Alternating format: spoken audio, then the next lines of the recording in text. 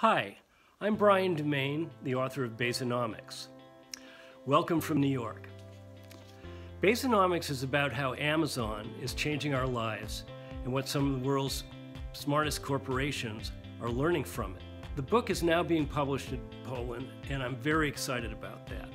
Partially because Amazon is now entering the Polish market, and I believe that readers here will find the contents of my book not only relevant, but also very valuable in terms of seeing where the world is going.